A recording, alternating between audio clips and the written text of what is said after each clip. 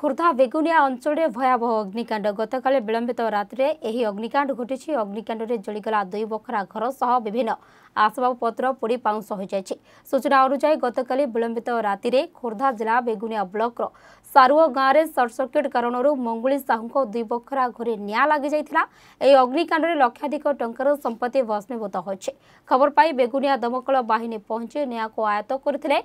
সেতবেলক ঘর সমস্ত আসবাবপত্র এবং ধন সম্পত্তি পোড়ি ପାଉସ ହୋଇଯାଇଥିଲା